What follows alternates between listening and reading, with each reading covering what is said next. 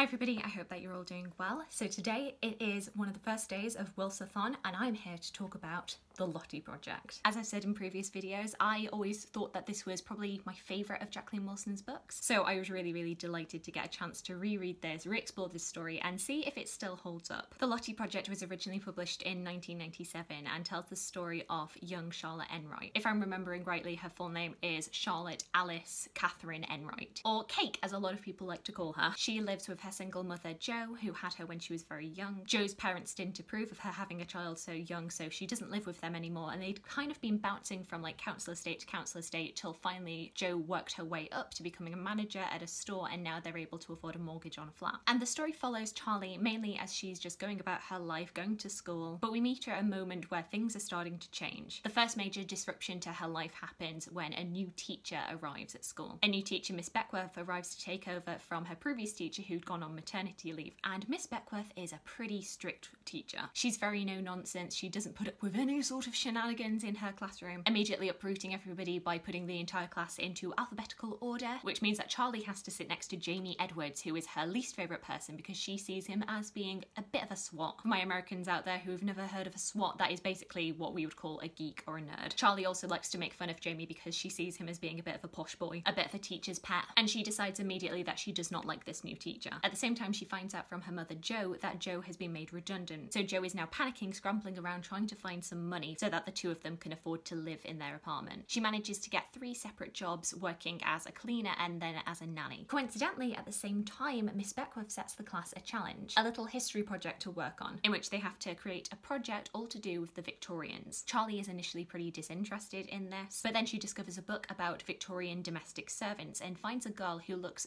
eerily similar to her, definitely a similar age. And she's kind of shocked at this idea that somebody as young as 11 would have to go out to work and to look after other children, especially when Charlie sees herself still as a child herself. She then decides to do a slightly different kind of project and instead decides to write a diary from the perspective of a young girl called Lottie who has to raise money for her family and therefore becomes a servant. And very quickly we get to see how Charlie gets a lot of comfort out of writing Lottie's diary and also how Lottie's diaries start to reflect Charlie's own life and really kind of giving the reader a chance to see how the people in the past were not so different from us. So you can probably see how this book initially appealed to me. You know, it's about a main character who's called Charlotte, even though she doesn't like to be called Charlotte, she prefers to be called Charlie. And side note, yes, I definitely try to get people to call me Charlie. Did not get any success there. Though my dad does still call me Lottie, but he is the only person who's allowed to do that. And through the book, she discovers a love of history, which I can relate to. And like I say, I really love the fact that through this book, you're getting a chance to compare and contrast the past and the present, getting to see the similarities and the differences between how people live now and how they lived in the past. We see how Charlie gets a lot of comfort in seeing how the past that she is writing kind of mirrors her own life. And as an adult, it made me really think about, you know, why is it that we turn to the past a lot of the time? Why is it that a lot of people get comfort from reading about the past? And I feel like that's especially poignant right now. I feel like a lot of people have turned to the past to kind of explain the past year or so. And I think the reason for it is that people do get a lot of comfort from being reminded that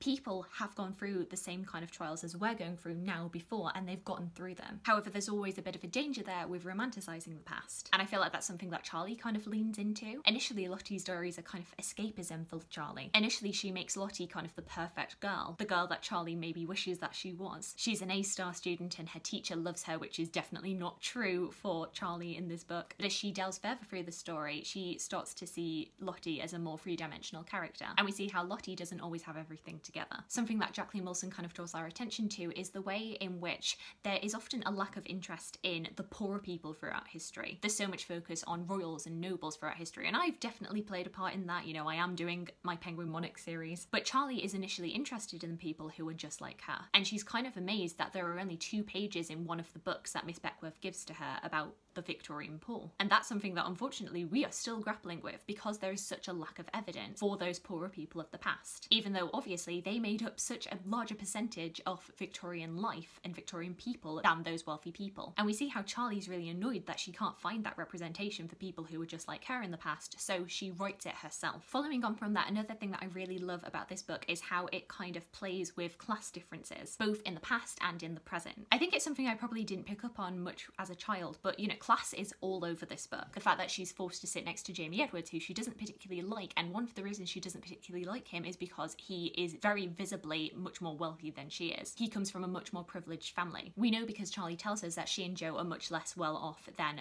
the rest of her friends even. She goes around to her friend Lisa's house and her mother expresses like absolute horror at the fact that Jo doesn't own a blender to make cakes with. Lisa's mother not even considering that that could be a thing. Charlie's grandparents are often casting aspersions on Jo's home and the places that she chooses to live. There's a lot of class snobbery that Jacqueline Wilson's really trying to tackle here. But we also see how Charlie has her own misconceptions about class, thinking that Jamie Edwards is just like this stuck up posh boy. And you know, in a lot of ways he is, but that's because he's a child and he doesn't know better. Actually, when the two of them get to know each other, they actually quite like each other. She goes around to Jamie's house and she's expecting his parents to be absolutely awful and to be kind of like sticking their noses up at her. And they're not at all, they're just like regular parents. Another thing that I love about the Lottie project is that we are presented with a flawed main character. Because here's the thing about Charlie she's often kind of rude and often a bit mean. She's often like very full of herself, particularly about her popularity and how much other people love her. But at the same time, she's also very resourceful and very witty. And those are aspects of her personality that you love. Jamie Edwards at one point even calls her fierce, which I think to see, especially if you are a young girl, is it's really good representation because often in previous children's books, you know, like little girls had to be like the most perfect, demure people. And Charlie is not that at all.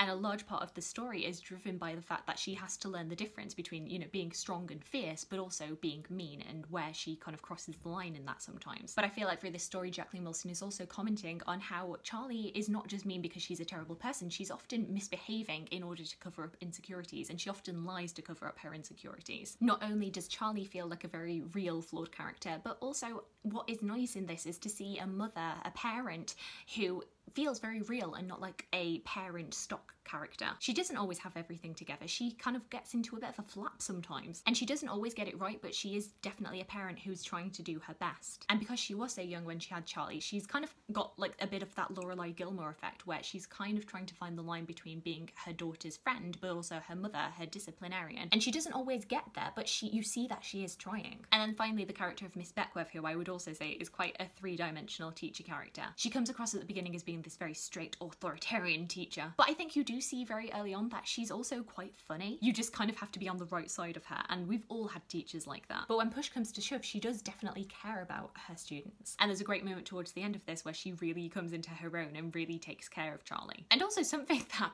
hilariously, I, I think I only really picked up in this because of Les Mis. Yes, Les Mis is helping me with my reading of Jacqueline Wilson books. Mm-hmm, that seems right. Is that this book seems to have a lot to say about names and the power of names, the power of somebody else's name for you. Right at the beginning, we are told by Charlie that she doesn't like to be called Charlotte, and immediately upon entering her class, Miss Beckworth, in wanting to show her authority, decides that she is going to call her Charlotte because that's the way that we do things in our class. Yes, it made me think of Jean Valjean and all of his different names, and the names that he likes and the names that he doesn't like, and the names that people choose to put upon him, and how that is indicative of the respect that they have for him. Maybe it's a very, very loose connection, but I definitely got aspects of that in here. I can't believe I'm comparing Les Mis to Lottie Project. But yeah, those are my very jumbled up thoughts about the Lottie project and why I like it. I will just say there are definitely aspects of this that are very 1997. It's not a frequent thing, but it does crop up a few times. There is some language in here that is very, very of the 90s, very dated that we wouldn't use today. Hello, editing Charlotte here because I realised I wasn't really clear on and I was a bit vague. Basically, at one point in the book, the main character Charlie uses the R word to describe herself in a very flippant way to describe herself in an argument. I just thought I should flag it up. I know the argument is probably going to be like in the 90s and the early 2000s 2000s people did use that word and there wasn't as much awareness about not using that word. I was a teenager in the noughties, I definitely heard people use that word, but I did still feel like it was something that I should potentially flag up for people. But generally, I do think that this book has held up over the years and I did really enjoy reading it. Do let me know how you're getting on with Wilsathon. I'd love to hear from you. I hope you're having a fantastic, fantastic day and I look forward to talking to you again soon. Thanks.